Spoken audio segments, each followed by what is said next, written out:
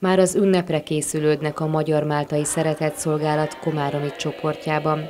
A Kossuth utcai Máltai házban napról napra nő a karácsonyvárás izgalma. A gondozottak kedden a karácsonyi dalokat gyakorolták, szerdán mézes kalácsokat készítettek, tésztát szaggattak, díszítették és megsütötték a téli ünnep kedvelt csemegéjét. Nem ilyen egyszerű azonban a fogyatékkal élők számára az élet. A leghitelesebben erről Szalai Gabriella tud mesélni, aki hosszú évek óta jelen van a fogyatékkal élők gondozásában. Sőt, ennél többről van szó, maga is érintett. Én nekem is ugye szülési sérült lányom van, 29 éves múlt, és bizony nekünk is voltak nehézségeink. Én könyvelő voltam az állami gazdaságban, aztán ugye nem tudtam visszamenni a zsuskám miatt, akkor elkerültem három évig én egy megváltozott munkaképességűeket foglalkoztató munkahelyre, ahol én pénzügyi előadó, munkaügyi előadó voltam, és onnan tulajdonképpen kértek fel az akkori szakképzésért alapítványtól, hogy a Móra iskolából kikerülő fogyatékkal élő fiatalok az utcán vannak, és valami klubfélét jó lenne létrehozni, és 2001-ben így alakult meg a klub, az intézmény elődje. Én ott voltam klubvezető három évig és utána 2004-től támogató szolgálat épült rá, illetve 2005-től a Fogyatékosok Nappali Intézménye. Szalai Gabriella élete összefonódott a Máltaival és a gondozással, amelyért a fogyatékkal élő fiatalok végtelen szeretettel kárpótolják.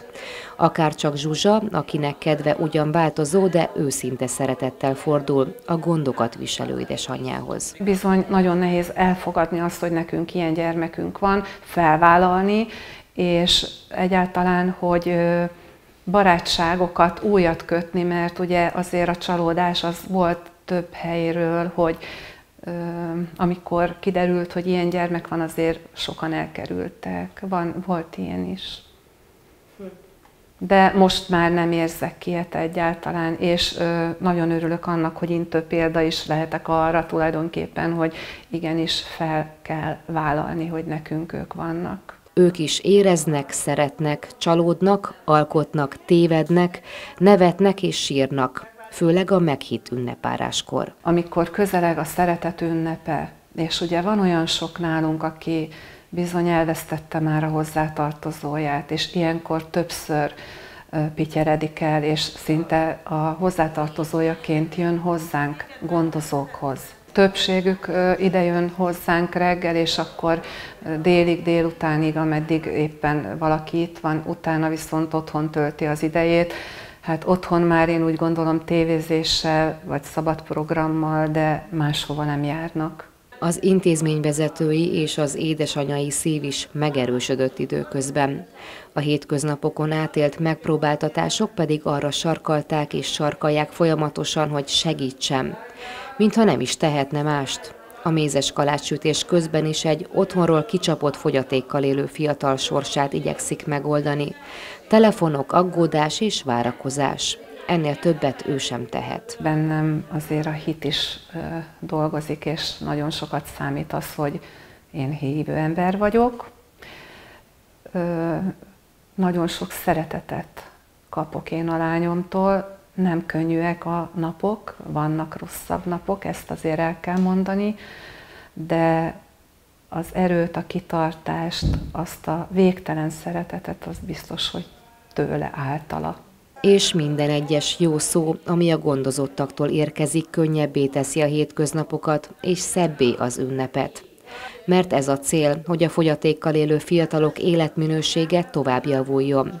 Megteremtették a fejlesztő foglalkozások szakmai hátterét, a gondozottakkal szórakoztató programokra, városi eseményekre járnak, és érzékenyítik a helyi társadalom minden korosztályát. Nagyon jó a tapasztalat, én azt el tudom mondani, hogy a Komárom városnak akár a polgármesterét, önkormányzatát vagy a kistérséget is azt tudom kiemelni, hogy nagyban támogatnak bennünket, és ezáltal ö, tudjuk mi azt biztosítani a fogyatékkal élők részére, amire szükségük van.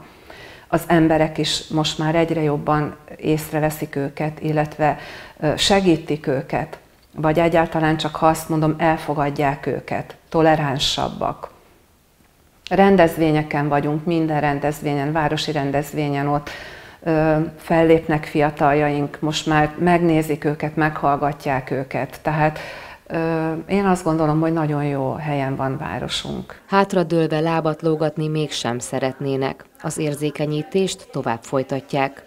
Jövő évi szakmai programjukat most fogalmazzák meg egy pályázat keretében. Egy nyílt hét lebonyolítását tervezik sok-sok programmal és az elfogadásra ösztönözve egészséges vendégekkel, óvodásokkal, iskolásokkal, nyugdíjasokkal.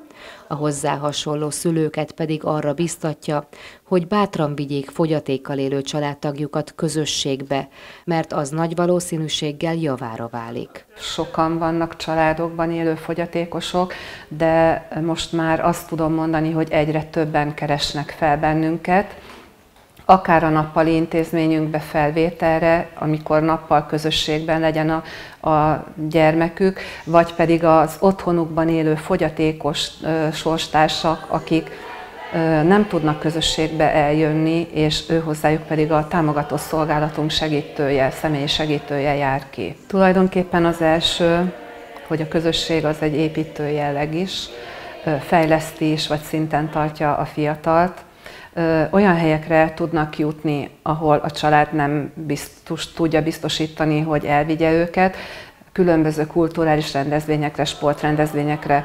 Most a parlamentben voltunk, közösen fenn adományba, ajándékba kaptuk ezt a lehetőséget. És ugyanakkor azt érzem, hogy a szülőket pedig tudjuk tehermentesíteni. Tehát az alatt az idő alatt, míg nálunk tölti az idejét hasznosan a gyermek, addig a szülők pedig otthon egy kicsit tudnak mást csinálni. A Máltaiban valóban hasznosan telnek az órák. Ha csak a karácsonyváró dalaikat hallgatjuk, átérezhetjük örömüket, mely mindennél fontosabb, és nem csak karácsonykor.